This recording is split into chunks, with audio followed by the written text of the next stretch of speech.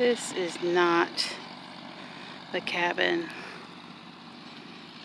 that they sold us by the picture. The picture that we had had a window on this end, did not have one in the back, had another one on the other end, and one on either side of the front door. Wendy's thinking its measurement doesn't look quite right either, so we're going to have to check that out. I mean, either way, we're going to probably end up keeping this one here, but we're definitely going to have to um, talk to them about the price of it if it's not as, as large as the one that we had ordered. Uh, it was supposed to be 14 by 32, so we'll see. In January of 2020, Lundy and I were both feeling very discouraged that our house build wasn't coming along any faster. We were both working very different shifts, and the property was an hour away, so it was hard to get time to come up as often as we would like. We made a decision to go ahead and buy a pre made cabin so that we could spend more time up here and just go to work from here.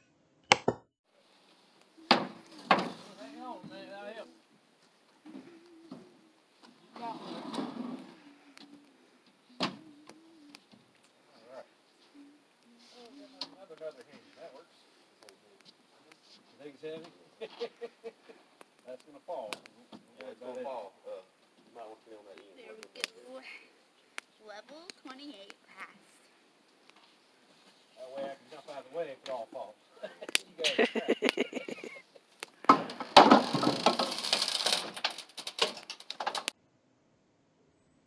When they brought us the cabin, it was the wrong one. But all of the prep work trying to get everything together was a big ordeal because we had a limited amount of time that we would have access to bring it through on the road. So, unfortunately, we got stuck with a smaller, slightly different cabin.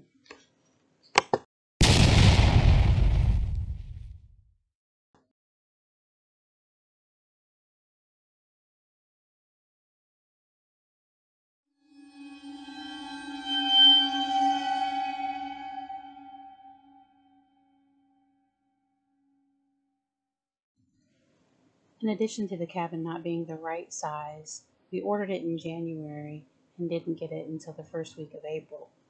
It was a really cold day, and they came in four hours after they were supposed to be here when we had gentlemen waiting with tractors because we knew that they wouldn't be able to pull it on their own despite what they told us they could do. So we all made the best of it. We made a fire and uh, had some hot dogs over the fire and just kind of made it a day. We did have a family talk with our kids and made sure that they were okay with us making this big transition to moving into all of us in one room for a while until things progressed a bit more. And they were both completely on board the other children are grown up and on their own, so it wasn't any big deal to them. However, the two that were still at home, it was important that they were comfortable with our decision. We also um, went ahead and immediately mounted a TV because you can't have teenagers without a television.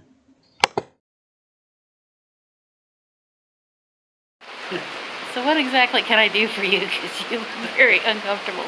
You good?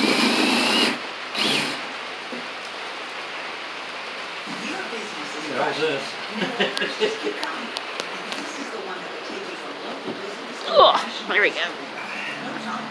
Are you stuck? No, it's just I gotta lean on things. Oh, that hurt when you lean on them. Okay. I'm gonna stop recording now. Of course, for the kids to have a television and for us to have communication, we needed to have electrical. So we've installed solar and windmill power, and we immediately started using a composting toilet. Uh, we are going to be changing some things along the lines as we go, And over the past couple of years, we did build on three bedrooms onto the back of the cabin so that everybody has their own space. In this time frame, my son, um, who was living with us, has met the love of his wi- life and they got married this past September. Some of our adult children did come and help us to install some of the solar panels. Originally, we put eight panels on the roof and then decided later, after the first snow that we had the following year, we didn't like having all of them on the roof for cleaning them off purposes. So now we do have an array on the ground.